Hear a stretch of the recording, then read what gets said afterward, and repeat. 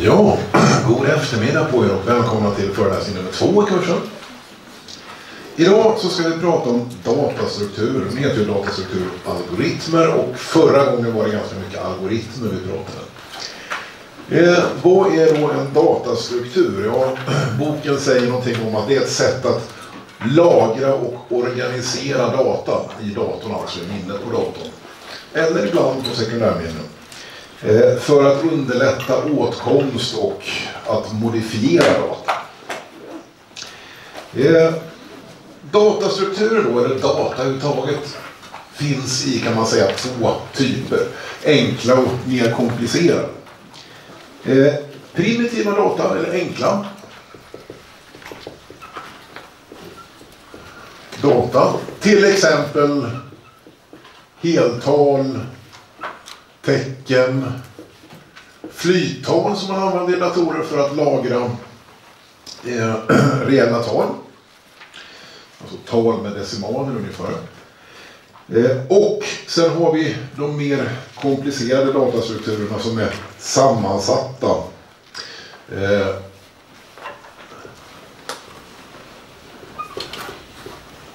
sammansatta datastrukturer eller ibland kan man kalla dem behållare, det vill säga vi kan stoppa in flera olika data. Till exempel flera stycken heltal för att göra en koordinat i rummet. Och om vi tittar på enkelt exempel. De av er som har programmerat i C då. Om man skriver int x på det här viset i sitt C-program. Ja, vad händer då? Jo, då får man ju en variabel som heter x. Och variabler är ju en plats i minnet, men man kan tänka sig dem som små lådor. Här är den lilla lådan och den heter x. Och så kan vi lägga ett heltal i den. int står för integer som är heltal på engelska. Talet 17 till exempel. Om jag skriver x är lika med 17 i mitt program, då lägger jag dit 17 i den lilla lådan. Och sen om jag ska jobba med det här så ja, skriver jag till exempel 3 plus 2 gånger x. Ja, då hämtar programmet värdet på x. Och x har vi precis satt till 17 här. Och 2 gånger 17 är 34 plus 3 blir 37. Om jag inte räknat fel.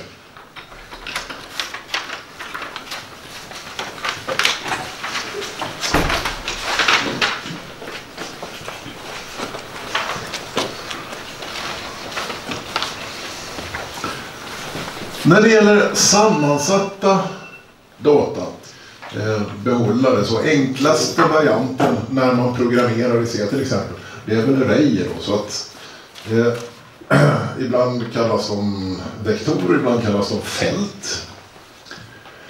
Om jag skriver inte int x utan int a och sen 3 på det här viset. Ja, igen, de som har programmerat i C vet att det där betyder att nu har vi gjort en array nu är det inte en liten låda utan nu är det tre små lådor på rad.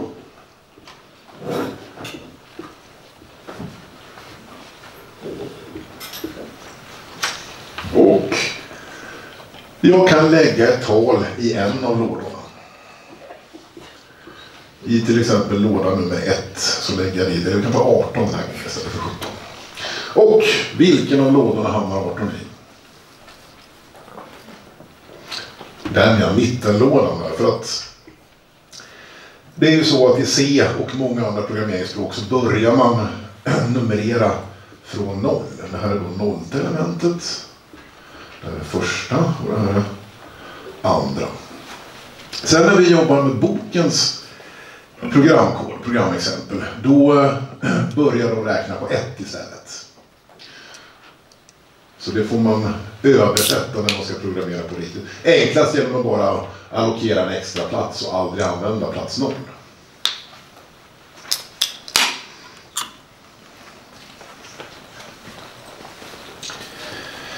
Eh, vi har väl, om inte annat, i samband med inlämningsuppgift 1 då, eh, pratat om abstrakta datatyper. Och det finns två betydelse kan man säga på abstrakt datatyp.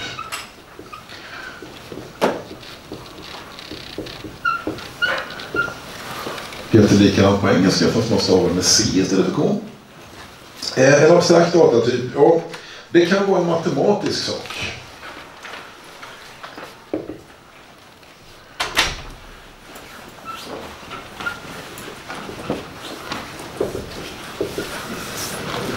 Jag talar om en mängd av tal till exempel. Ja, det kan man ju tala om utan att överhuvudtaget programmera någonting eller ens tänka på datorer. Utan det är bara någonting matematiskt. Eh, sen kan man förstås göra ett program för att ska vi säga, efterlikna de här matematiska mängderna av tal. Men datatypen i sig, den abstrakta datatypen, den är då ett matematiskt begrepp snarare än någonting som är programmeringsmässigt. Eller så kan man när man säger abstrakt datatyp också mena en datatyp som man faktiskt har implementerat. Man har skrivit ett program. Man har realiserat datatypen. Men man döljer hur det är gjort. Detaljerna.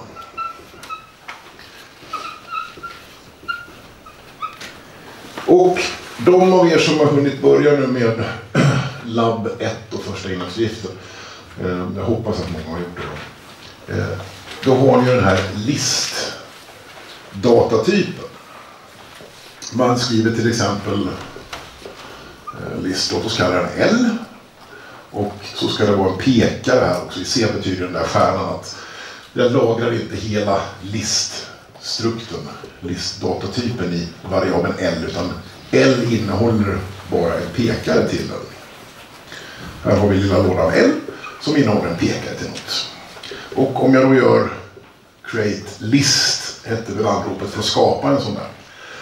Ja, hur ser det ut inuti? Är det en länkad lista som man har gjort och hur ser den ut i så fall? Det vet vi inte. Vi döljer alla detaljer. Jag som programmerare anropar create list, då får jag ett listobjekt av något slag. Men hur det ser ut inuti och hur det är gjort, det vet jag inte. Sen kan man förstås titta i den här filen som heter list.c som ni får med och då ser ni hur det är gjort. Men det är ingenting jag behöver tänka på när jag använder Så det är den andra betydelsen av abstrakt datatyp. Och ibland kallar man det för ADT som alltså förkortning för abstrakt datatyp.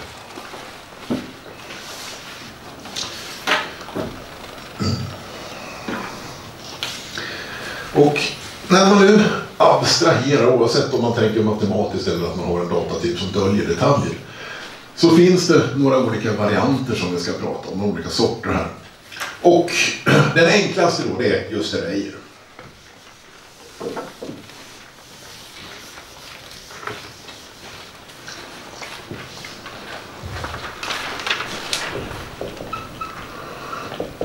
Och vad är det som är speciellt med den? Jo, random access.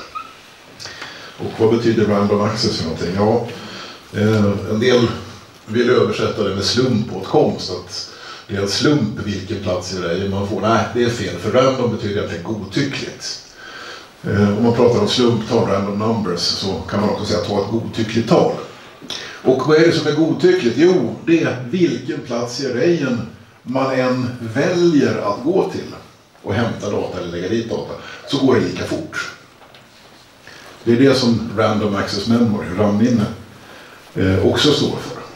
Man kan komma åt vilken plats som helst i minnet lika fort. Och hur funkar det då? Ja, eh, egentligen så är det ju inga små lådor utan det är platser i minnet. Och om jag ritar minnesadresser i datorn, säg att det här är adress nummer 1000. Det är en byte, det är åtta bitar man får plats. Och så fortsätter minnet neråt så här. Här har vi plats 1001, 1002, 1003, här har vi 1004, 5, 6, 7, här har vi 1008. Då brukar det vara så att heltal i de flesta moderna vanliga datorer är 32 bitars tal. Och om man då delar in det i byte med, fyra, med åtta bitar i varje, då blir det 4 byte. Så att om det här är arrayen A, jag lägger arrayen A här.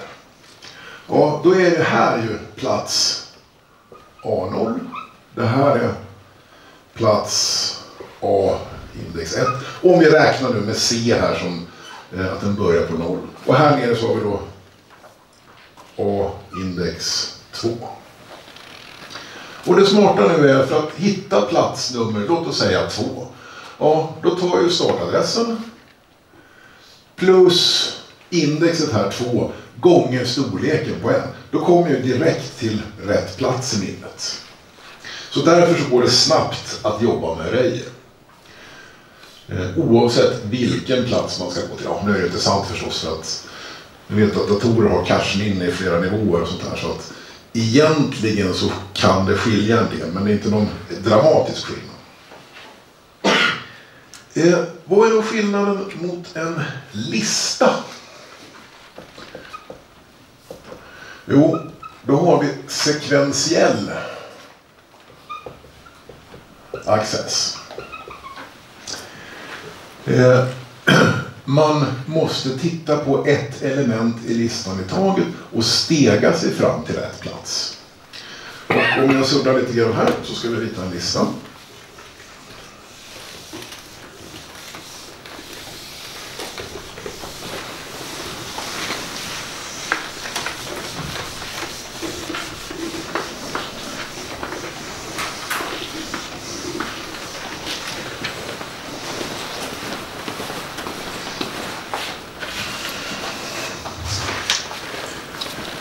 Tanken med en lista då är att varje länk i listan innehåller två saker.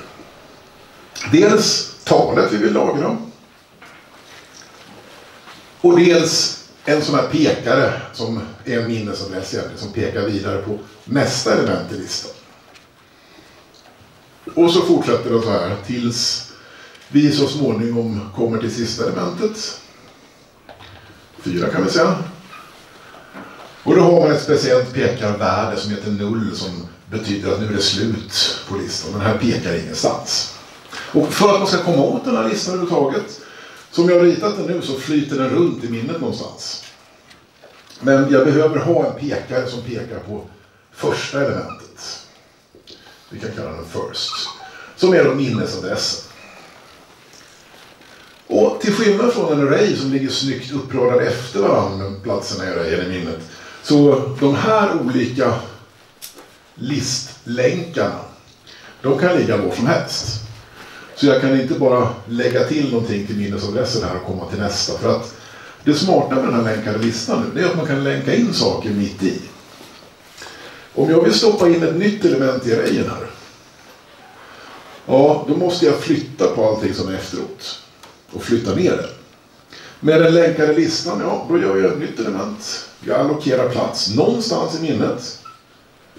Så, och sen flyttar jag runt pekarna så att istället för att den där pekar dit så får den peka dit. Och så sätter jag vidare pekaren här som vi kan kalla för next och pekar på det här som var det gamla andra elementet som nu är det tredje elementet i listan. Och har man hållit på sådär ett tag, ja, då kan listans element vara utspridda över hela minnet i datorn. Och för att komma åt till exempel det tredje elementet, ja, det går inte att hoppa dit om jag inte har en pekare specifikt dit.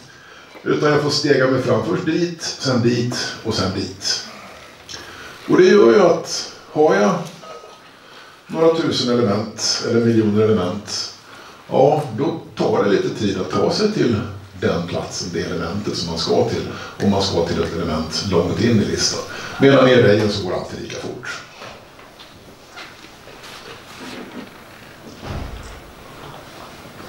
Och vi brukar tala om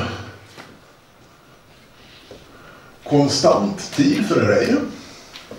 Alltid lika fort. Och linjär tid kan man uttrycka det som för listan. För att ska jag gå igenom hela listan för att hitta plats nummer en miljon eller så, ja. Om jag sen ska gå till plats nummer två miljoner, då tar det dubbelt så lång tid. Så att tiden är proportionell mot hur många steg i listan man ska ta sig.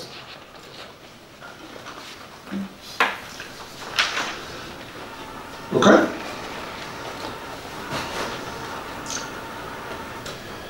Eh, låt oss nu gå vidare till det här med dynamiska mängder.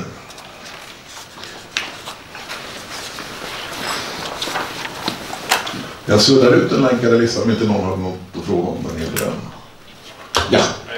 Jag tänkte, om du inte, för du inte gör allokerar för minnen, är det alltid kvarande typ när du flyttar om datorn och försvinner? Det, det beror på först vilket programmeringsspråk man använder. Har jag Java eller C-sharp eller något sånt, eller eh, eh, Python, ja då har den automatik så att den samlar ihop minne. Även om man, om man inte har någon pekare till det längre då åters, återsamlar en garbage collection.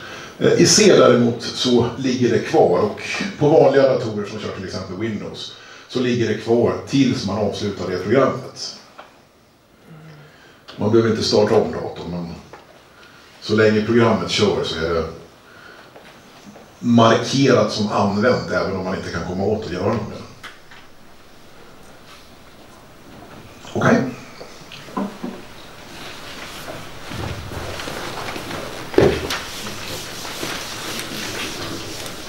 Dynamiska mängder då. En vanlig matematisk mängd. Vad är det då? Ja, det är en samling element och låt oss säga att vi tar mängden av alla de tre första uddatalen som är större än två. Här har vi den mängden. Det blir 3, 5 och 7. Och vanliga matematiska mängder, om man inte säger något annat, så dels så har man inga dubbletter. Ett tal är antingen med i mängden eller inte. Man kan inte vara med två gånger. Och vi har ingen särskild ordning på elementen. Antingen är man med eller inte, man kan inte säga att man är det andra elementet. Och en sak till, de där mängderna ändras ju inte.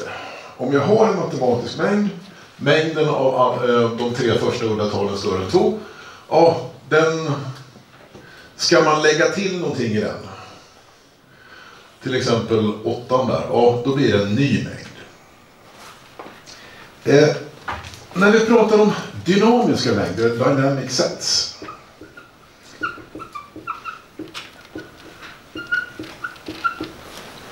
Då är det till att börja med, det dynamiska är inte att den rör sig väldigt fort eller något sånt, utan det är att den kan ändras. Den är inte statisk i betydelsen att den aldrig ändras, utan den kan ändras.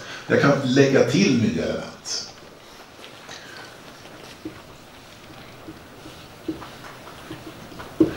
Och det, det handlar om att vi ska bygga datastrukturer som vi kan använda för att lagra en sån här dynamisk mängd. Och jag har hela tiden ritat heltal nu. Eh, egentligen så är det ju så att ofta så vill man ha mer data. Det kanske är så att vi har en, eh, eh, en samling data om personer. Varje person har ett unikt nummer, sju till exempel, ett namn, Olle och ett skonummer, 47 kanske. Eh, och för att hitta en sån här mängd, eh, person i en mängd så använder man numret här. Det vi kallar nyckel eller på engelska key. Då ofta är det så att man har data som hänger på här förutom själva nyckeln. Men i den här kursen så gör vi nästan hela tiden så att vi lagrar bara heltalen. Så att om vi har en mängd som innehåller 3, 5 och 7 så kan vi också tänka oss att de där 3, 5 och 7 det är bara nyckeln i en liten klump med data som innehåller mer. Men för enkelhets skull så eh, allt sammans är heltal när vi jobbar med det. Okay. Eh, det är också så, mera saker som skiljer sig från matematiska mängder är att ibland så kan vi ha dubbletter. Ibland har vi en ordning vi inser till exempel att om vi ska lagra vår dynamiska mängd i en array, ja, då är det ju en viss ordning på. Så att även om vi lägger in 3, 5 och 7 och inte bryr oss om ordningen så finns det ju en ordning. Eh, matematiska mängder kan vara oändliga. Mängden av alla udda tal till exempel. Den är oändligt stor. Eh, här, eftersom vi ska lagra de här mängderna så eh, är de ändliga. De är inte oändliga. Eh, I alla fall än så länge det går att jobba med oändliga mängder. Men då får man istället för att faktiskt lagra dem, lagra någon sorts formel för hur man ska få fler element.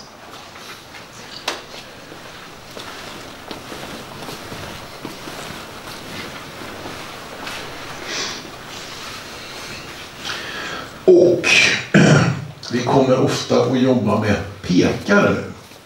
För den här personposten nu. Hur kommer man åt den? Ja, om den är i en mängd så kan man kanske be mängden, eller datastrukturen, använda den här datastrukturen som eh, vi har gjort mängden som att leta rätt på den med nummer sju. Men om den inte finns där, till exempel om man ska stoppa in den i mängden, och då behöver vi en pekare som refererar dit. Och som sagt, pekare är ju minnesadresser. Så bryter man upp datorn och tittar vad som faktiskt finns här, så, finns här så står det kanske 7009. Och 7009 är då minnesadressen till den platsen där den här eh, persondataposten börjar. Hänger ni med? För de som har programmerat i C innan och gått grundkursen så är det jättelätt kanske. Men eh, vi har ju egentligen inte det som krav för att man ska klara kursen.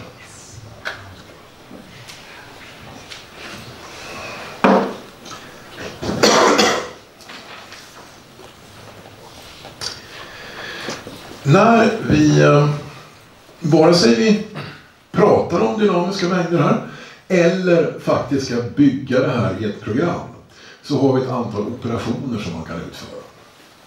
Och jag tar och suddar ut rejen här. Och så ska vi då lista de olika operationer som man kan göra.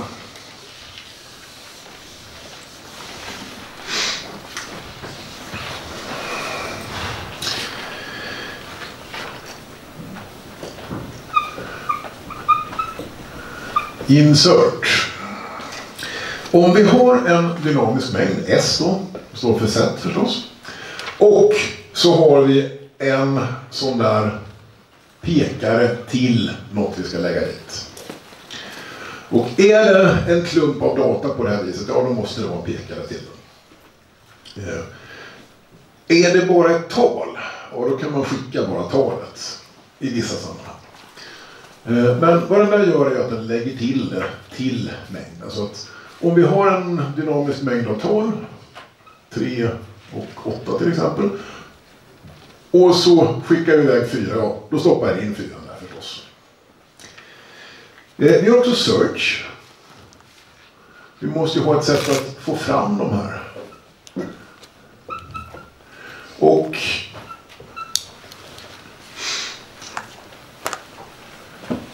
Nu så skickar jag inte en pekare till för att om det nu är någon form av dataklumpar eller poster här. Så om jag redan har en pekare till då är det ju rätt onödigt att göra en sökfunktion som söker i den här för. Utan det jag gör då det är inte att jag skickar en pekare utan då skickar jag bara den här nyckeln. Så sökfunktionen tar nyckeln som letar rätt på det elementet. Men man får en pekare. Den returnerar den här funktionen. Operationen returnerar en pekare.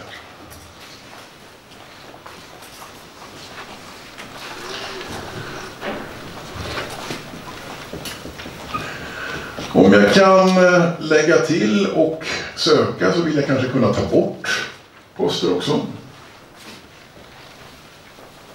Och man skulle kunna tänka sig att man eh, eh, skickar nyckeln där, tar bort post nummer fyra.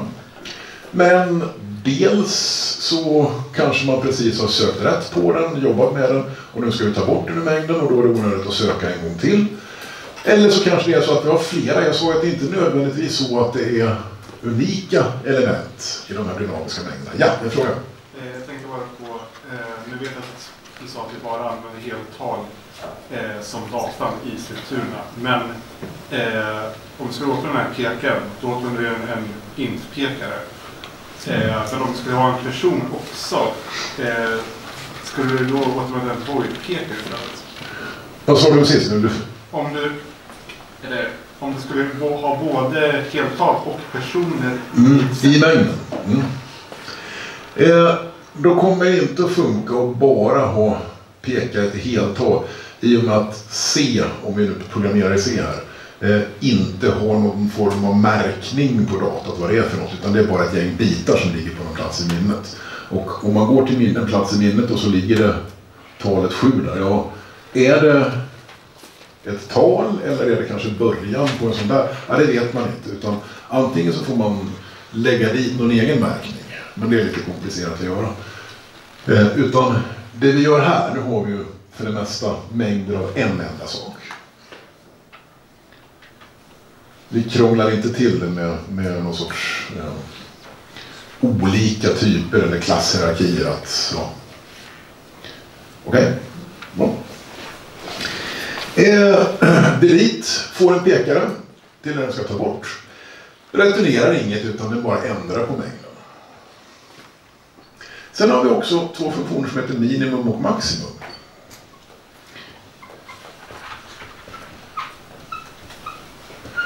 Vad de gör är att de hämtar det minsta respektive det största värdet. Och i det här fallet då så eh, får vi ju för minimum så får vi 3. Och är det då en mängd av heltal nu så när vi jobbar med det så kommer vi bara ha, vi skickar inte några pekare då, utan det är bara talen egentligen. Eh, utom ibland. Eh, här får jag tillbaka ett tal, 3, och där får jag tillbaka ett annat tal, 8. Däremot, som sagt, ibland om det är, låt oss säga, en länkad lista som vi har använt för att laga den här mängden. Då får man en pekare till den platsen. Alltså den, den listlänken. De som jag suddade ut alldeles nyss. Och sen har vi två andra som heter successor och predecessor.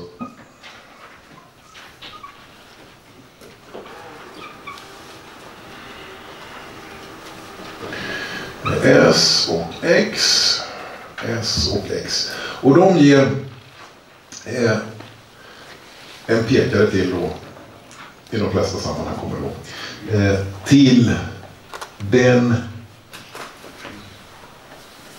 det element som är närmast mindre än X respektive närmast större än X. Så där får vi om i ja, de flesta sammanhang pekar.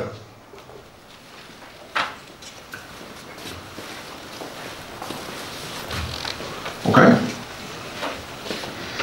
Hängde ni med på det? Det blev lite rörigt här när det är ett heltal och när det är pekare. Men eh, Eh, om det nu är en länkad lista med, med tal, ja, då vill vi ha en pekare för det mesta till den länken där det talet ligger.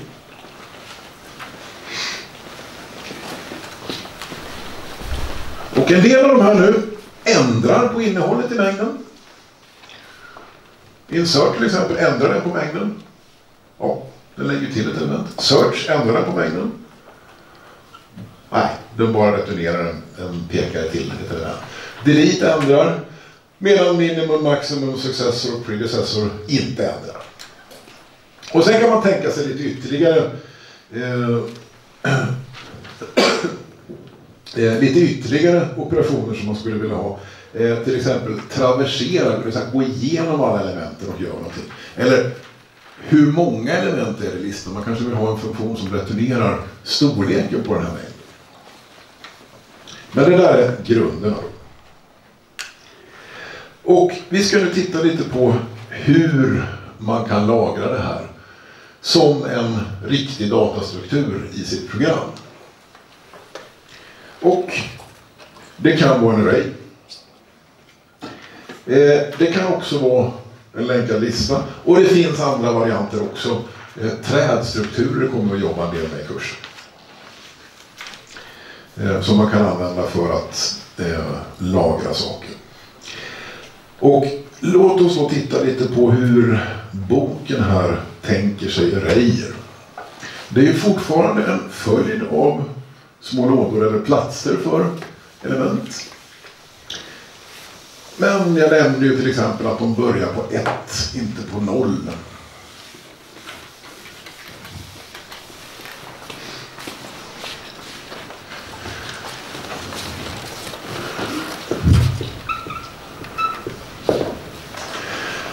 Vi kan till exempel ha en array av sådana här personposter.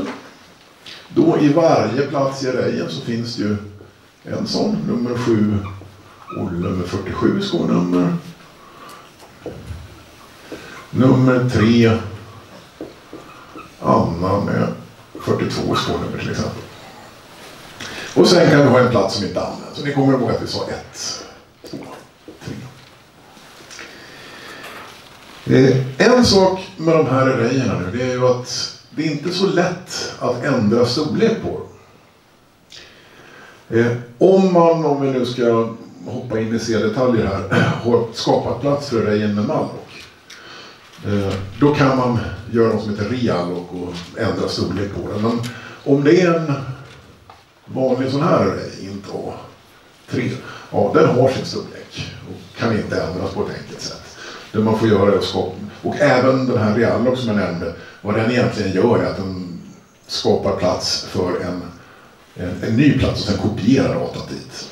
I alla fall ibland kommer den göra det. Eh, och eh, vi nämnde random access, det går lika fort att hitta vilket, vilken plats som helst. Och typiskt då så är det då som vi pratade om här att det är en enda typ av element i arrayen. Eh, man kan ha olika typer av saker. Eh, men ta ett heltal, sju, och sen en sån här på, ja, de är olika stora. Och om man då ska räkna ut mest, eh, var plats tre till exempel är i arrayen, ja då går ju inte det om de är olika stora. Så då kan man istället ha pekare. För pekare brukar vara lika stora. Och de kan då peka på något litet eller något stort. Men man behöver ha något sätt att hålla reda på vad som är vad.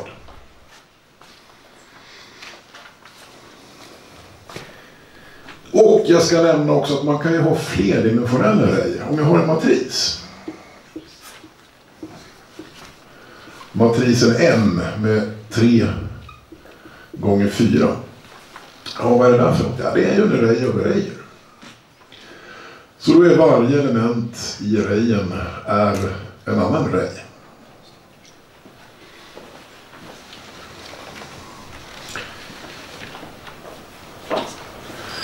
Och ännu fler dimensioner kan man ha. Nu är det ju tvådimensionella. Men jag kan ha till exempel om jag ska eh, har ett spel där man kan flytta sig i en rymd så kan jag tre dimensioner. Mm. Okej. Okay. Eh, frågor innan jag går vidare och börjar prata om stackar och köer. Nej, ingen säger något. Eh, listor och arrayer eh, kan man använda som de är. Men en vanlig användning för att lagra saker det är just det här med köer och stackar. Och en kö vet ni vad det är. Man står i kö till bussen. Den som kommer dit först ställer sig först. Nästa ställer sig bakom. Och nästa ställer sig ännu längre bakom. Och sen den som ska gå på bussen först. Ja, det var den som kom dit först. Den som stod först i kön. Och då blir nummer två eh, den nya först i kön. Eh, så kö, eller på engelska Q. Och det är nog det svåraste i kursen att stava till kö på engelska tror jag. Eh, brukar man kalla FIFO. För first in, first out. Den som kom till busshållplatsen först är den som får lämna kön först och gå på bussen. Sen är det också stackar. Och på svenska, man säger aldrig det, man säger alltid stack, men trave ungefär. Vi har, det ju, vi har ordet höstack. Man har travat hö. Och vad är det för någonting? Jo, om jag har en trave med böcker. Här är marken. Och så lägger jag en bok här. Och så lägger jag en bok ovanpå. Jag har inga snygga böcker. Och så ligger en bok där. Enda sättet att lägga dit en bok, det är att lägga den överst. Så man kan bara lägga till nya element överst. Och ska jag ta bort ett element från stacken, ja, då är det också det översta elementet, det enda man kommer åt. Det vill säga, en stack är en LIFO, last in, first out.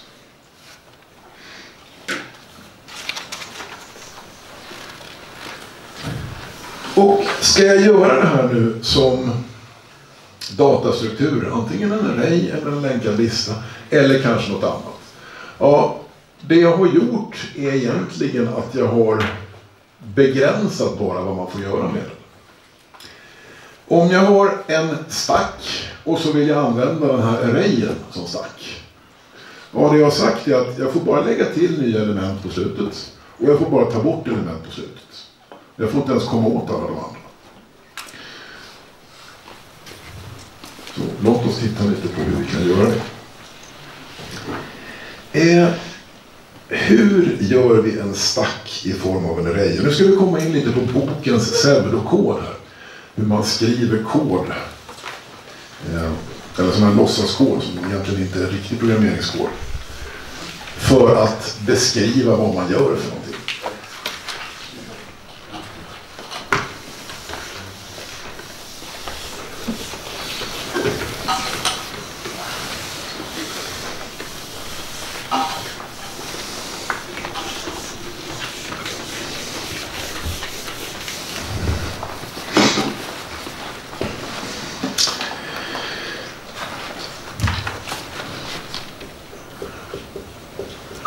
stack i form av en array. Man kan ju säga att stacken är den abstrakta datastrukturen.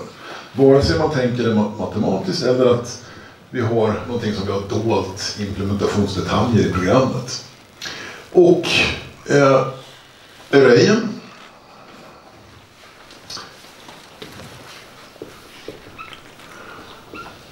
Vi kallar den S nu som stack, inte A. Och den har, låt oss säga, eh, jag ska bara kolla hur jag har skrivit sen. Jo, size. Så. Så till exempel om jag har fyra platser, numrerade 1, 2, 3, 4, då är size lika med 4.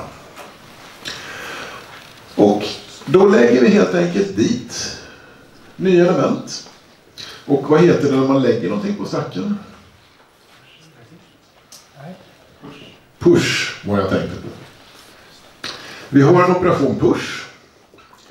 Till exempel jag lägger dit tre på stacken. Ja, då lägger jag det på den första platsen. Och sen gör jag push, låt oss säga 10.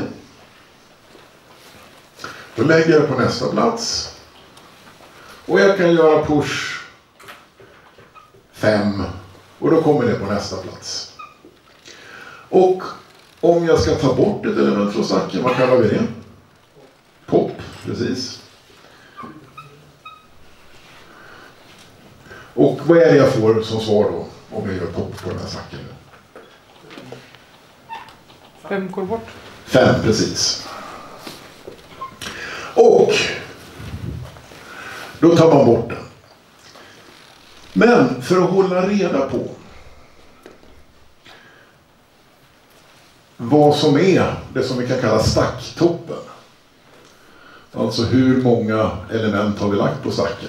Så behöver vi en variabel av något slag. Och vi tänker oss att vi har i den här eh, arrayen som vi heter S istället för A. Så har vi en variabel som heter topp nu då så är topp lika med 2. Den anger alltså den platsen.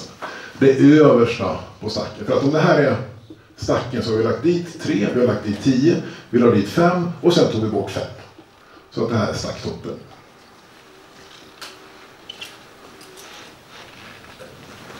Och jag har även s.size som är storleken på hela arrayen så att jag vet hur mycket som får plats. Och notera att den här stacktoppen, den anger dessutom hur många element jag har på sacken. Två stycken i det här fallet.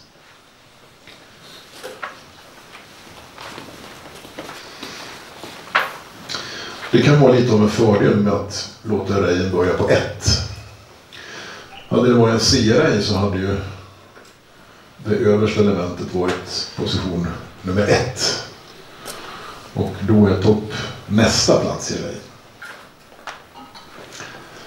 Eh, en sak jag ska ändra här nu i eh, mina push och pop. Det är att vilken stack är det jag ska pusha och poppa? Ja, det är ju inte omöjligt att man i sitt program kan vilja jobba med flera stackar. Och som jag har gjort det nu och bara sagt att det finns en. Ja, då kan man bara ha en. Så att vi får som ett argument här till push och pop lägga till vilken stackare vi jobbar med. Stackaren S eller S1 eller S7 eller vad det kan vara.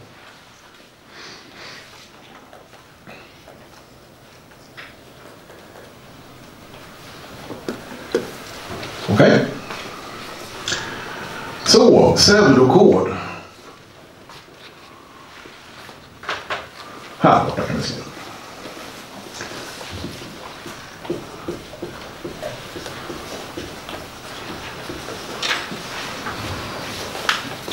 Skulle i och för sig gå att skriva en interpretator som faktiskt kör den här pseudokoden sen. Förutom att det kommer att li ligga lite text mitt i alltihopa som beskriver vad man ska göra med vanligt språk. Det är därför det heter pseudokod och inte riktig kod.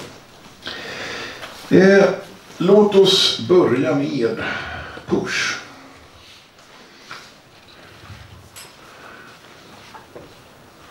Pseudokod för push.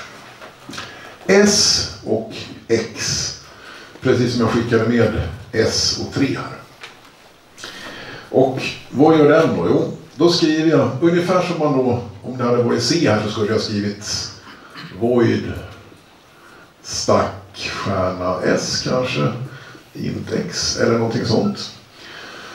Eh, beror på hur man har gjort det, men någonting i den här stilen skulle C-koden se ut om vi skrev C-kod istället för den här pseudokoden.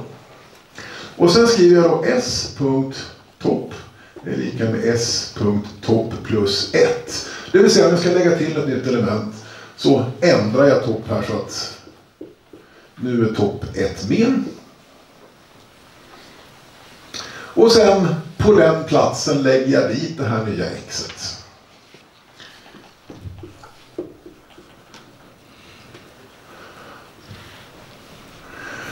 Och om jag ska använda den här klammernotationen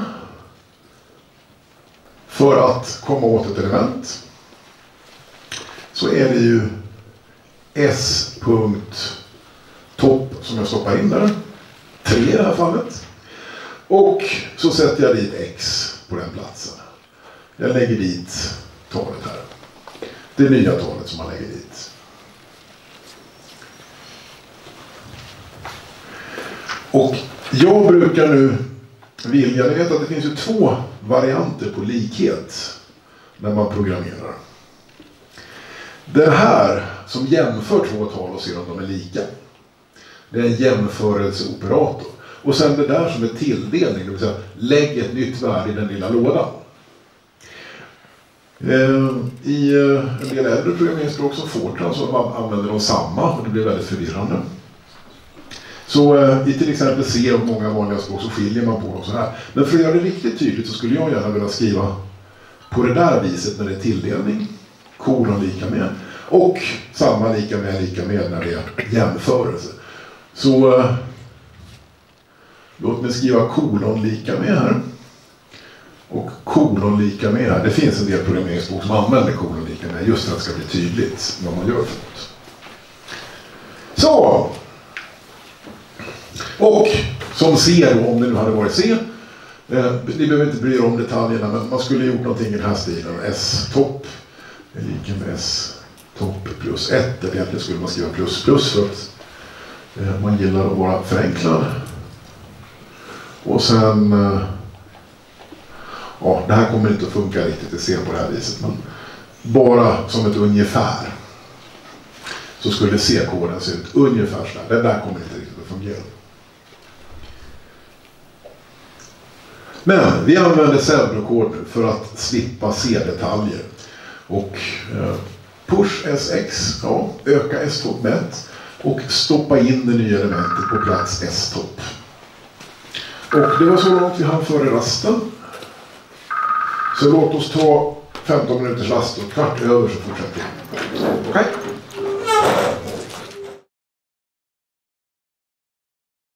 Ja, välkomna tillbaka.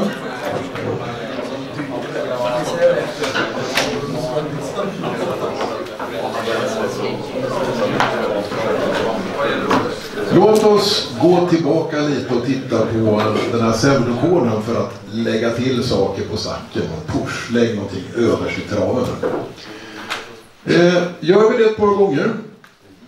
Vi lägger till någonting nytt här och eh, vi lägger tillbaka femman vi hade. Vi lägger dit en sjua kan vi säga.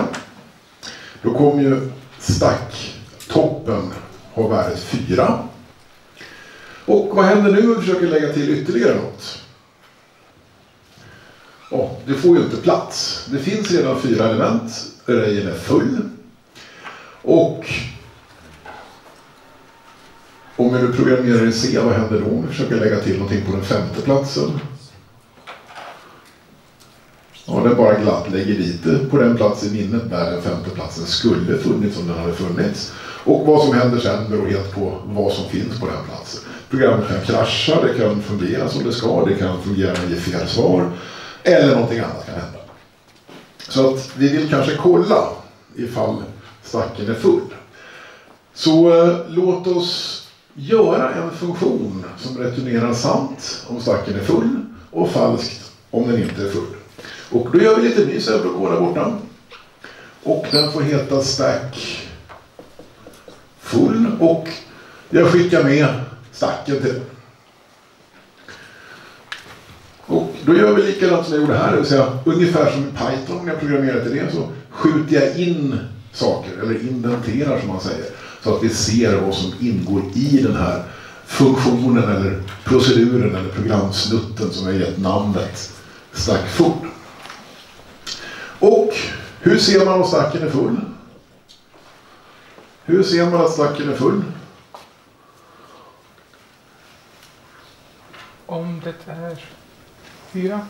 Ja, om stacktoppen som är antalet element vi har, plattan, vi har nu är lika med storleken. Så att om s.topp är lika med s. och vad kallar jag den? Size kallar jag den. Så.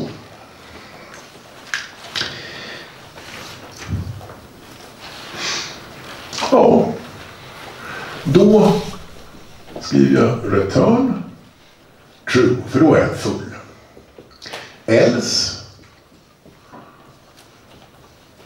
return false. Och den här if-else-satsen är samma som man har i nästan alla programmeringsspråk. Om det här är sant, att s-topp är lika med s-size, ja, i så fall returnerar vi sant, i annat fall returnerar vi falskt.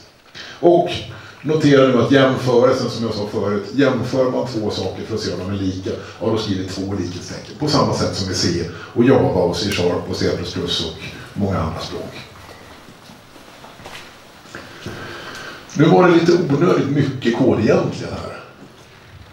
För ni kommer ihåg vad jag sa att om det här är sant, eller true på engelska, så returnerar vi true.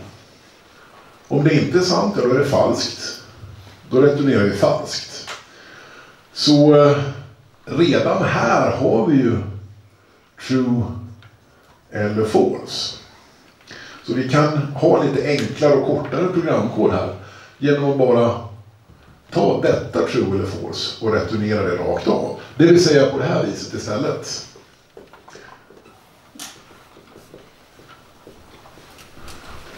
Nej, stark full menar jag inte. Stark full S. Och så skriver jag return, skicka tillbaka som värde från funktionen. S topp är lika med S size. Då blev det lite kortare kod. Nu måste man inte göra så, utan om man tycker att det här är tydligare så är det helt okej okay att skriva på det viset. Men det är kanske, om man vänjer sig vid det här sättet så är det ganska trevligt att slippa ha en massa extra rader i onödan. Eh, men igen då, tycker man det här är tydligare så är det bättre att göra så. Okej, okay. om vi har stack full så kanske vi vill ha stack empty också. Som kunden av stacken är tom. För när vi gör pop så eh, ska vi ju då egentligen kolla först om det verkligen finns någonting att poppa från stacken. Och hur skulle ni skriva? Hur ser man om stacken är tom? Hur ser man om stacken är tom? Ja, om size, eller topp egentligen, för size var ju hur många platser det finns. Topp är hur många vi har använt. Så det tar en s.topp är lika med noll.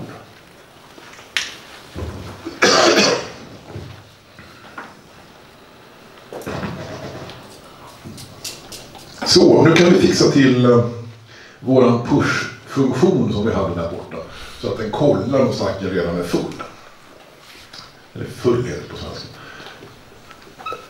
Push SX. Och då ska vi då börja med att kolla om den är full. Så att vi har en if-sats här, om den är full. Det vill säga if stack full S. Jag behöver inte skriva if full S är lika med true eller något sånt där för att eh, om det här är true, ja då har jag ett villkor som är sant eller falskt som jag kan använda min ifsats direkt här. I så fall, ja, så ska vi ha något sätt att signalera att det blev fel. Vi tänker oss att vi skriver error bara och sen ett felmeddelande och sen tänker vi oss att det avslutar hela programmet. Eh, hur man hanterar fel av den här typen är en hel vetenskap men vi gör det enkelt för oss. Vi säger error, stacken full. Men om den inte var full, ja då kan vi lägga dit ett nytt element precis på samma sätt som vi gjorde här. Det vill säga, lägg till ett till stacktoppen och lägg dit vårt nya element på den platsen i arrayen som anges av den nya stacktoppen. Så jag skriver här s.topp är lika med s.topp plus 1. Och sen s-index s-topp.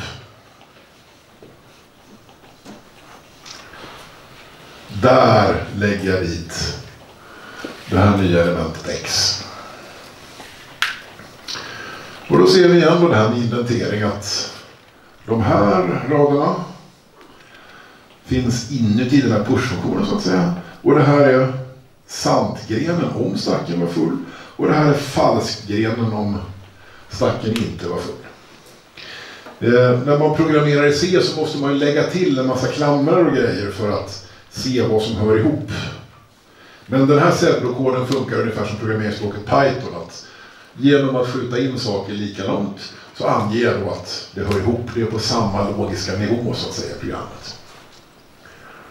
Så de där klamrarna behövs inte här men de behövs i C.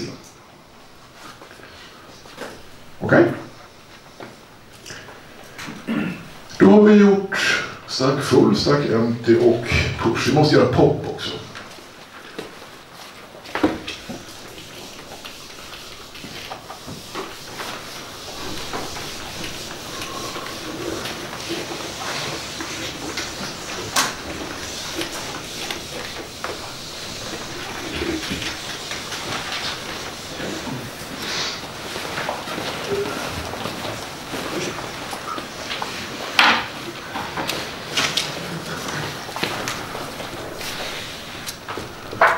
att ta bort och returnera också det översta elementet på den här stacken. Och, ja, vi börjar med att kolla, är stacken tom? Ja, då finns det ju inget vi kan poppa från den. Så att då ska vi få ett felmeddelande. Så if stack empty.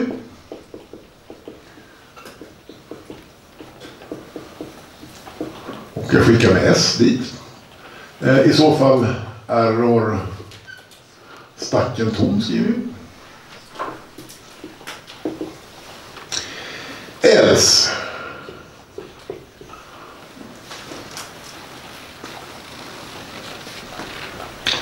Och nu behöver vi hålla, vara lite försiktiga här för att Om det här är S-topp lika med 3 och så är det 7, 9 och 5 kan vi säga. Då är det det här elementet vi ska returnera. Och samtidigt så ska vi minska stacktoppen med 1.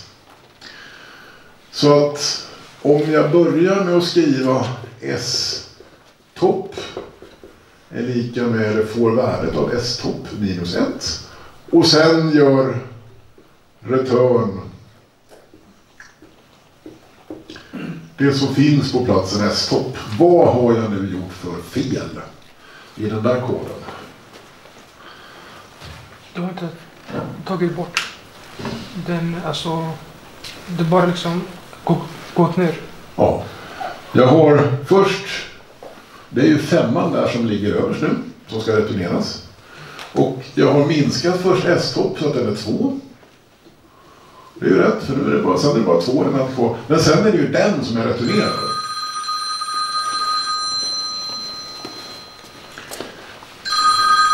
Nej. Eh, så att det här blev inte riktigt rätt. Och jag skulle ju kunna börja med att lagra den här femman i en särskild variabel som heter um, the thing to return from this function. Eller så lägger jag bara till plus ett här. Så kan man göra. Och ni som håller på med C, ni vet att man kan stoppa in minus minus och grejer lite här och där för att göra allt sammans på en rad. Men det ska vi inte göra nu. Så, det är sacken. Pseudokod för hela sacken i form av en array. Jo, det jag tänkte fråga nu är tid för att göra de här sakerna. Hur lång tid tar push och pop? Beror det på hur många element man har på stacken? Nej, för det är alltid samma saker man gör. För stack empty. Det är bara en jämförelse. Och sen är det minus. Och sen är det ta fram en sak från en plats i rejen och returnera den. De operationerna gör man varje gång. Och samma sak med par, push. Så att det är konstant tid. Det tar alltid lika lång tid. Konstant tid. För push och pop.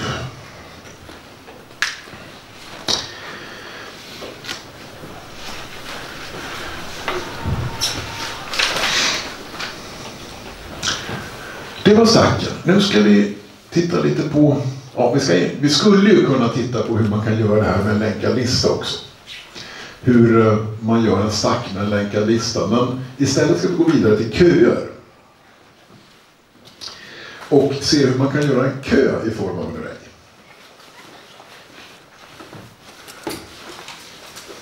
Och är det någon som har några frågor om den här pseudokoden för stackar innan jag suddar ut alltihop? Nej. Så antingen var det helt uppenbart allt eller så förstod ni ingenting.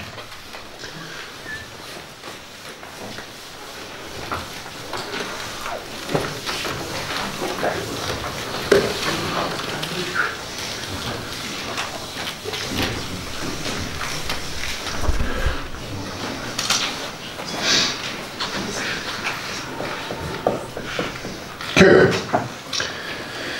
Eh, om vi hade två operationer push och pop för en stack så har vi också två operationer för kön. Lägg dit sist i kön och ta bort från först i kön. Så att vi kan, ha, vi kan kalla den NQ, det vill säga köa. På kön som heter Q och sen ett element X lägger vi dit. Och sen DQ.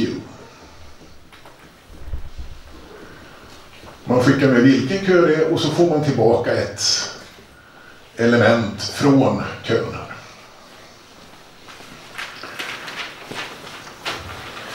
Och hur ska vi göra den då? Ja, vi har vår array kanske. Säg att vi har en array, vi kallar den Q då. Med en, två, tre, fyra, fem. Och här är bussen då. Det är hit. Här står man först. Här är busskylten på busshållplatsen. Och så ställer vi några personer i kön. Först gör vi en Q på den personen och sen på den personen. Och sen på den personen. Och då är det ju den där som är först i kön. First och den är last. Och när vi lägger till en ny, ja då eh, flyttar vi last så att den kommer till den där platsen istället. Och så står det en person här och som eh, står sist i kön. Och då skulle man ju kunna göra så att när vi tar bort, gör DQ på det första elementet, det vill säga första personen i kön, kliver på bussen. Då skulle man ju kunna göra som så att man tar alla de här som står efter och gör som det funkar på riktigt på en busshållplats. Om den som står först går på bussen, och då tar alla ett kliv framåt. Och samma sak kan man göra här, så att hela den här flyttar sig ett snäpp uppåt. Eh, varför vill man inte göra så? Eh, för du ska jag formulera, men eh, du behöver gå igenom alla Ja, precis. Eh, har jag en miljon personer i kö, det har man kanske inte på en busshållplats, men säg att det är eh, datapaket som ska skickas på ett nätverk och är uppköade, då kan man ha en miljon utan att göra något. Eh, då måste vi flytta en miljon. Den ska flyttas dit, den ska flyttas dit, den ska flyttas dit och så vidare. Och det gör ju att ju längre kö man har, desto långsammare blir det att eh, ta bort ett element. Det går fortfarande snabbt att lägga till en ny sist. För där är det ju bara att man eh, flyttar fram last ett snäpp till. Men vi vill inte göra på det här viset att vi måste flytta hela, hela innehållet i kön för att ta bort ett element. Så vad ska man göra istället? Jo, då kan man göra ett litet trick här. Istället för att flytta alla elementen så flyttar vi första platsen. Så att när den personen går på bussen här.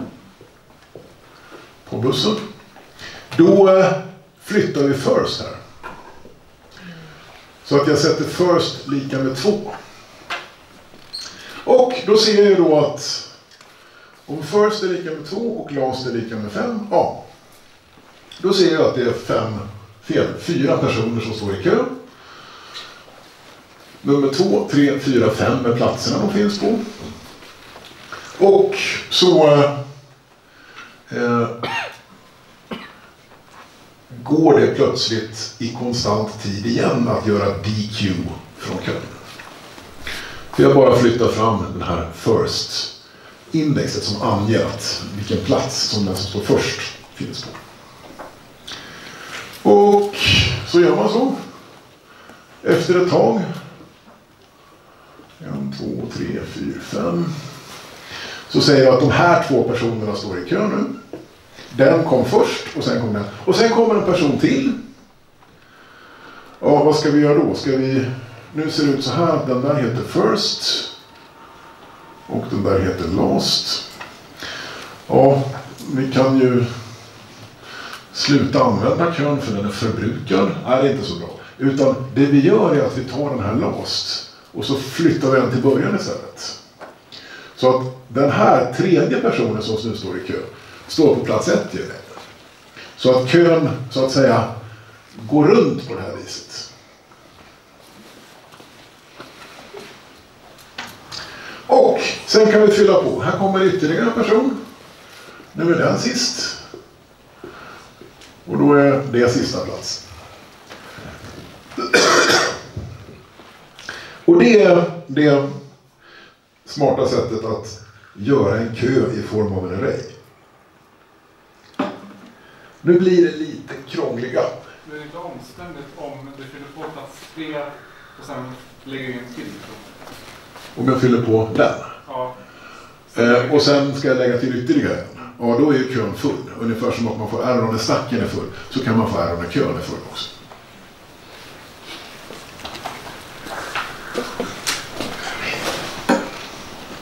Men det blir lite krånglig kod nu att hantera det här. Just i och med att den, den går runt på det här viset. Och när man ökar 5 med 1 så blir det inte 6 utan det blir plötsligt 1. Och vi ska se om jag kan få det rätt här. Eh, om jag använder bokens Z-kod här. Eh, så har de gjort så här. Att de har en lite annan sak här. De säger så här att eh, Eh, de talar om något som de kallar för Q-head. Det är en sån här amerikansk sak. Huvudet på kön säger man aldrig på svenska. Va? Och svansen på kön säger man inte heller. Men i boken står det head och tail. Och det betyder ju första och sista. Så då kan jag använda Q-head här. Eh, 1, 2, 3, 4, 5. Om jag säger att första elementet, plats ett. det är den där. Nu har vi tre personer i kön. Och då har de gjort som så att tail, det är inte sista platsen. Utan tail, det de kallar sista, det är den plats man skulle få om man går dit och ställer sig i kön. Så det är första lediga platsen. Q-tail är lika med 5 i det här fallet. Men plats 2, 3 och 4 är upptagna av folk.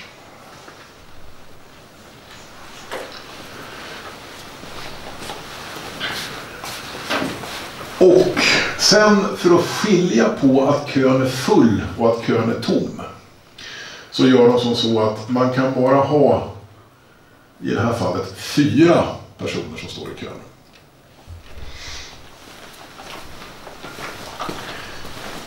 För annars kommer man behöva krångla till koden lite.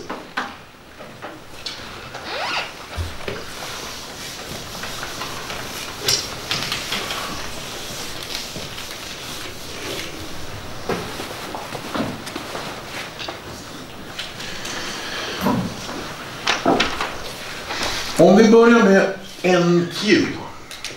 Vi ska ha QMT och QFull också alldeles strax. Men NQV, UE. Lägg till i kön Q lägger vi till elementet X. Eh, om kön redan är full, ja då får vi error. Så QIV full Q så error kön är full. Eller overflow kan man kalla det också. Men om vi nu antar att det finns plats i kön. Ja, vad var det vi skulle göra då? Jo, Q-tail är ju den platsen där vi ska lägga dit nästa person. Så att den här blåa personen här som kommer och ställer sig sist i kön ska placeras på den platsen. Så i och med att det nu inte är överfullt så gör jag helt enkelt som så att Q index Q.tail. I vårt exempel just nu 5. Där lägger jag dit det här nya elementet som jag vill lägga dit. Och sen ska jag öka Q-tail med 1. Jag ska flytta fram den till nästa steg. Och ni ser ju redan nu att det blir problem här. Q-tail får värdet av Q-tail plus 1. Eller om man vill programmera C och skriva bara plus plus. Q-tail plus plus. Eh, men det gör vi inte här i serverkår. Ja, om vi nu är... Om, om eh, det fanns mer platser efteråt, ja då är det helt okej att sätta den till 6 nu. Q.tail är lika med 6. Eh, men den platsen finns inte så vi måste kolla då. Har vi, har vi passerat så att säga slutet på arrayen? Så om Q.tail nu är lika med Q.size.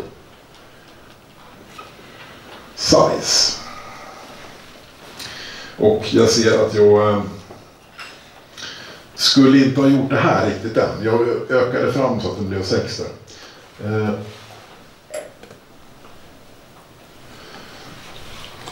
vi kan skriva om, om vi hamnar utanför. Om man läser boken i koden så har de inte gjort på det här viset och de har gjort som jag egentligen skulle gjort det. Men om jag ser att jag har passerat änden på kön. Ja, då ska jag ju flytta, flytta tail dit. Q-tail ska nu bli lika med 1. I så fall Q-tail är satt till 1. Så. Det vill säga, lägg dit den nya personen eller vad det nu är som ska stå i kön sist på plats Q.tail. Och om jag nu har hamnat efter här, då flyttar vi dit. Samma sak med DQ. När den som står först i kön ska kliva på bussen. Så låt mig göra DQ. Det är Q. Nu skickar jag inte med något element till den utan den eh, tar ju ett element från kön och returnerar det. Om kön är tom, ja då ska vi få error. Så att if QIV empty Q. I så fall error kön är tom. Och det är ju förkortning av att kön är tom och vi försökte ta ett element ifrån den fast den var tom. Ja, vad är det nu som ska returneras? Ja, det är ju den. Så låt mig eh, spara undan den i en variabel. Den kallar jag för x nu. Och jag använder q som den array på samma sätt som jag gjort tidigare. Och så hette det q.head. Vi får gärna skriva first och last istället för head och tail. Men boken tyckte att head och tail var roligt. Och så ska den flyttas fram ett snäpp. Så att Q-head nu blir 3 istället. Där. För det är ju nummer 3 nu som är den nya som står först i kön. Och så gör jag Q.head tilldelas Q.head plus 1. Det som jag gjorde. Och nu är allting bra, förutom igen om det var så att den här första personen som står i kön står på sista platsen i rejen. Ja, då har vi ju igen då kommit till plats 6. Så då måste vi göra samma sak som vi gjorde här. Kolla om vi har stegat förbi slutet på kön. Så if q.head nu. Om det är lika med q.size plus 1. Vi har passerat slutet på kön. I så fall så eh, sätter vi den till 1. För den här sista platsen finns ju inte utan då ska vi vara där istället. Det blir den nya första personen.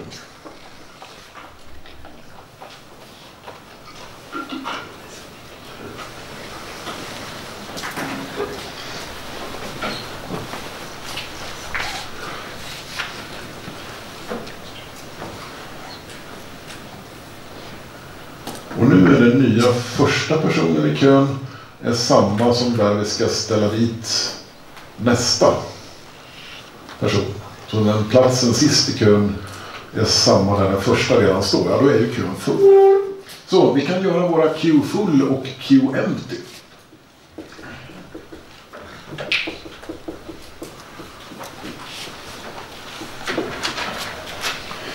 Hur ser man att kön är full? Ja, det är om Q-head är lika med Q-tail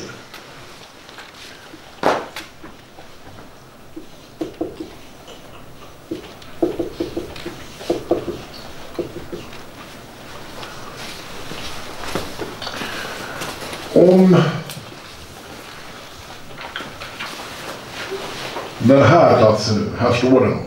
Det är den som står först i kön. Men det är den platsen vi ska lägga dit nästa person som ställer sig i kön, ja, då finns det ju ingen plats kvar.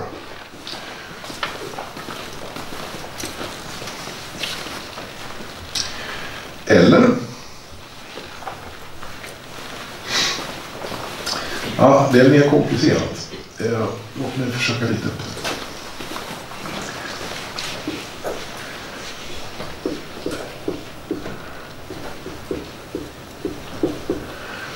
Eh, Första personen, andra personen, Tredje personen. Fjärde personen. Och femte person. Eh,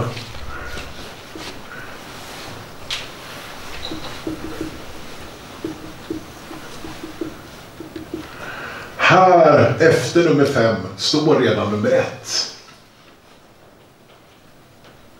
Ja.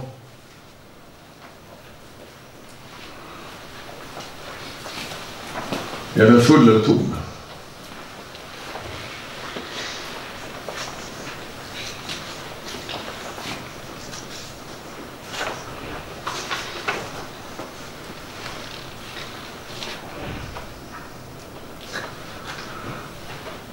Ja.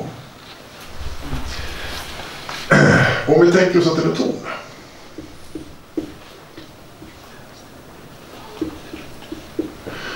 Då... Eh, vi tar bort alla. 1, 2, 3, 4, 5. Och då kommer ju Q-head. Eh, efter 5, här skulle vi ställa dit en nya. Så det där är Q-tail. Men vi har tagit bort alla personerna ur kön. Och nu anger Q-head samma plats. Så vi måste göra som så att vi har bara plats för fyra personer i kön. Så att det där anger egentligen att kön är tom.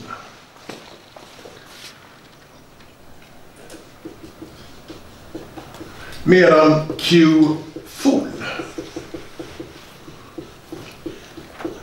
Den är att Q-head är lika med Q-tail plus 1.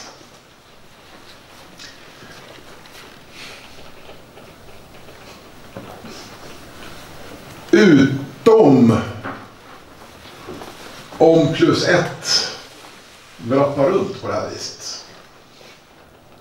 Så att jag behöver lägga till ett år här. Or Q-tail är lika med Q-size. Och Q-head är lika med 1. Det vill säga att eh, den som står först står på plats 1.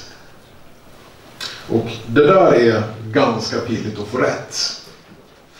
Jag kommer inte att kräva att ni kan sitta på tentan och skriva den här koden och få den rätt när det gäller köer. För att det här är lite besvärligt och man måste tänka ganska noga på det. Det är inget man gör på sitter på tentan och gör. Okej? Bra.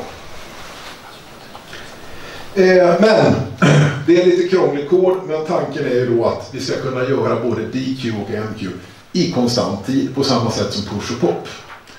Vi behöver aldrig flytta en massa element, utan det enda vi gör är att vi flyttar de här Q-head och Q-tail och jämför dem med varandra.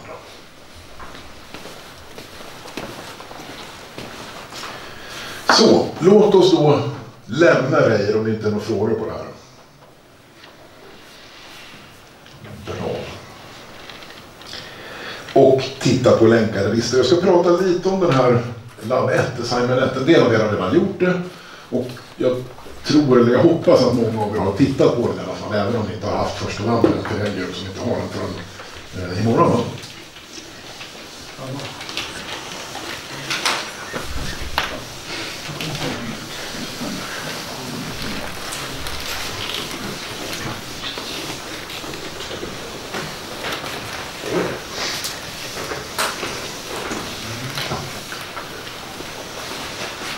Jag ska väl säga att jag egentligen gör köer hellre som länkade listor. Eh, För att man måste ju aldrig gå igenom hela länkade listan utan det är bara första och sista platsen man är intresserad av. Eh, Och då slipper man det här krånglet med att det brappar runt på det här viset. Men länkade listor.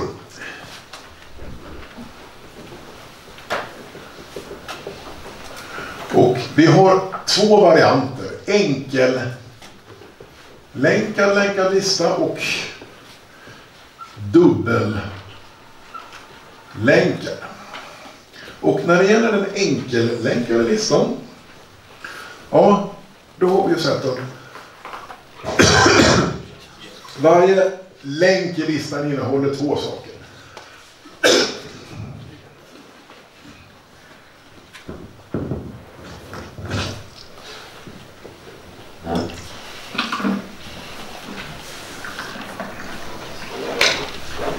Den innehåller eh, dataelementet, vi kan kalla det data eller key, 7, och en pekare till nästa post.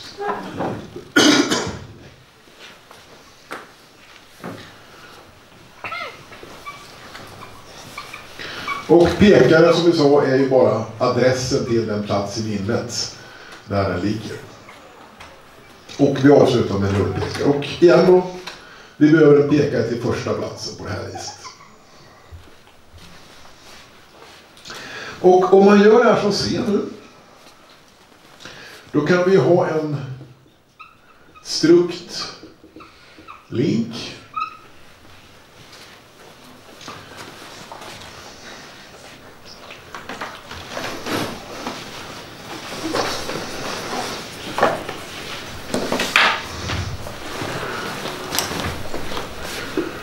Int key som är datat och strukt link, vi ska ha en pekare till en likadan och pekare i C skriver man med en sån här stjärna och låt oss kalla den next på det här viset. Och notera att den heter ju inte link utan den heter just strukt link.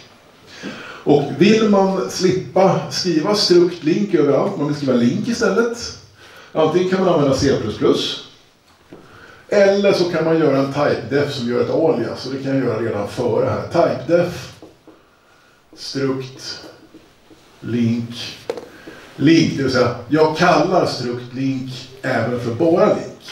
Och då behöver jag inte skriva strukt här. Då kan jag hela tiden i fortsättningen skriva link. Och jag behöver en pekare här till första elementet. Låt oss skriva eh, link stjärna first på det här viset.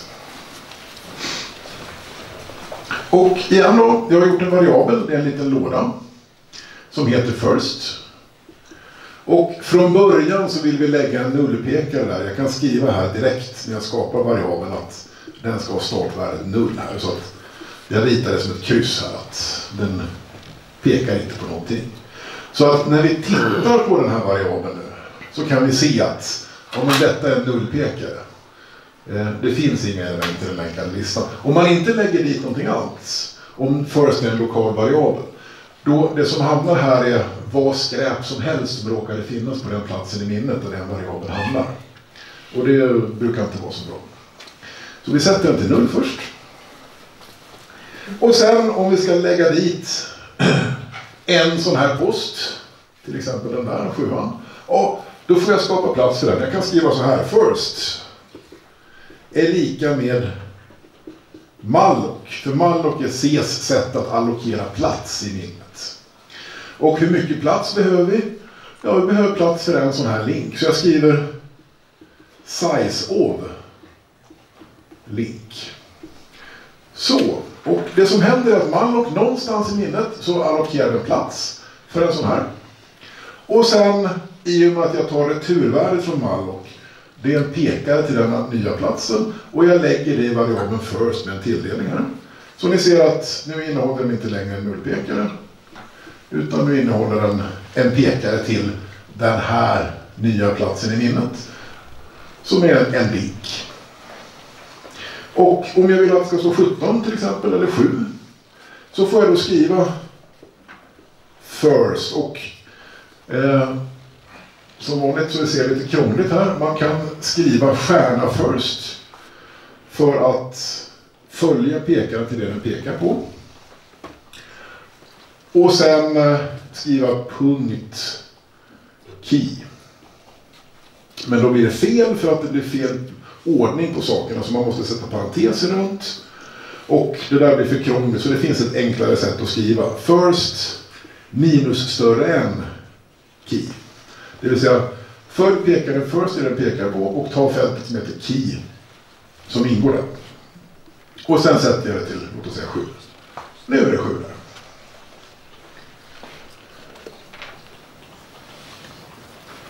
Nästan klara. Problemet är att nu ligger det skräp där. Så att om jag börjar gå igenom listan så kommer jag komma hit och så ser det ut som att det är en pekare, eller kanske till och med en pekare som pekar någonstans. Vad skräp som låg där. Så att, låt mig sätta den också till null så att man ser att här tar det slut. First peel next sätts till null. Förmodligen vill man göra en funktion som gör det här. Så att man slipper att för varje nytt element man lägger till i listan att man måste göra malloc och first key.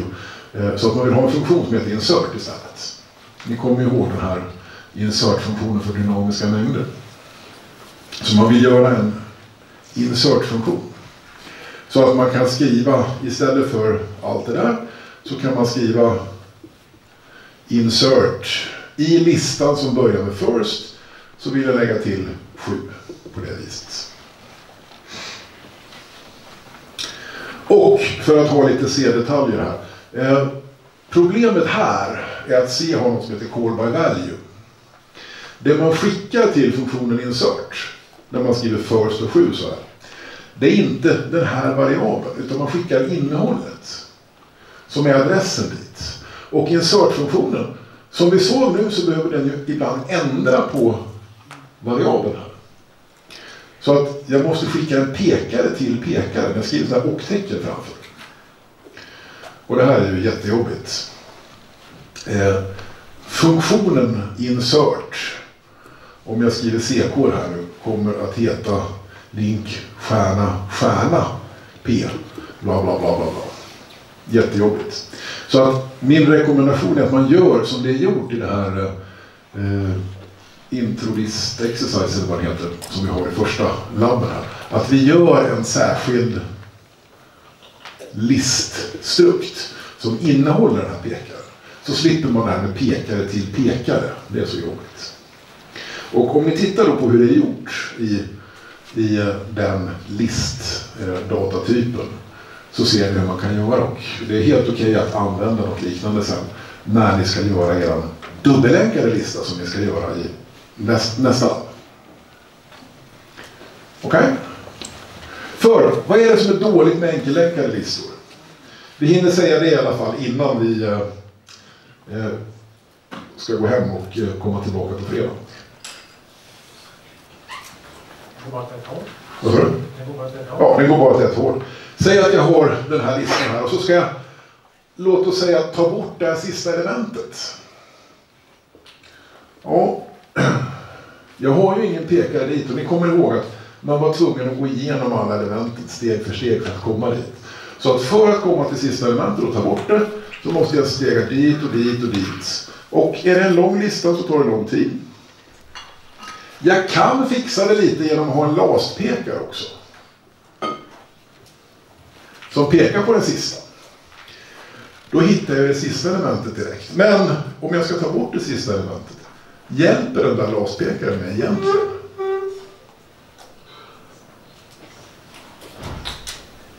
Ja. Du som säger nej, varför? Du behöver fortfarande du behöver sätta enda värdet på pekaren i den nästa. Ja. Om jag ska ta bort det sista elementet så måste jag också sätta den där pekaren till null. För det blir ju det här sista elementet. Och jag har inget sätt att komma därifrån och dit. Utan även om jag kommer att hitta sista elementet så behöver jag i alla fall gå igenom hela listan från början för att komma hit så att jag kan jobba med den där. Och där har vi då det smarta med dubbellänkade listor.